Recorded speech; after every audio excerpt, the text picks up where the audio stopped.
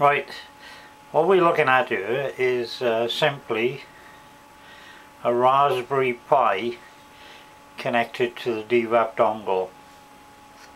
Okay, the Raspberry Pi has uh, two USB ports. One is connected to the dongle and one is connected to the uh, Wi-Fi dongle uh, which you can see the green light flashing away on the right hand side. And the power cord you can see coming away from it is just that.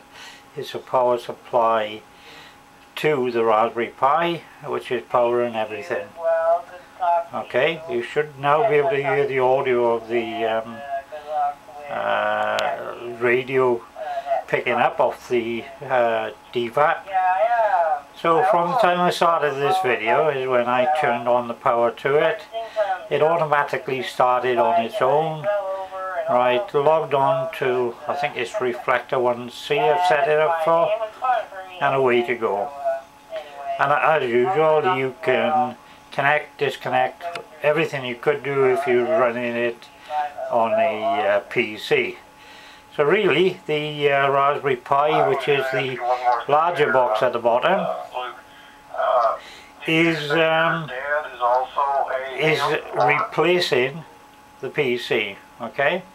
Uh, so all you have uh, I'm going to turn this radio down a minute so you can hear my voice.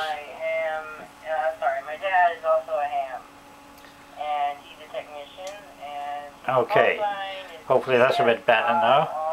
Um, with this combination you should be able to just plug it in anywhere within a main, where you've got a mains connection. And uh, obviously within Wi-Fi range of your uh, within range of your Wi-Fi router at home. Okay. And you're way to go. That's all it is.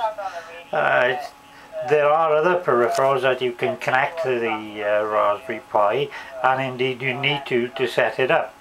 Unless you uh, have a pre-configured card in which case you just connect your Pi up and the uh, and turn it on and away to go.